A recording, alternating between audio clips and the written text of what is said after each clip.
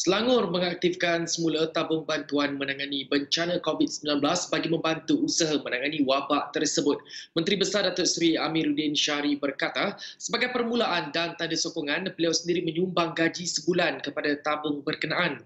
Kerajaan negeri bercadang melaksanakan potongan gaji membabitkan Exco, ADUN dan pegawai tinggi di GLC. Tahun lalu, kerajaan negeri menerima sumbangan berjumlah 9.3 juta ringgit dan digunakan bagi perbelanjaan khusus kepada petugas Barisan Hadapan dan Perubatan. Terdahulu Amiruddin mengumumkan pakej bantuan khusus untuk rakyat negeri Selangor bagi mendepani cabaran Perintah Kawalan Pergerakan 2.0. Dinamakan pakej Kita Selangor, ia memberi implikasi keuangan berjumlah 73.877 juta ringgit kepada kerajaan negeri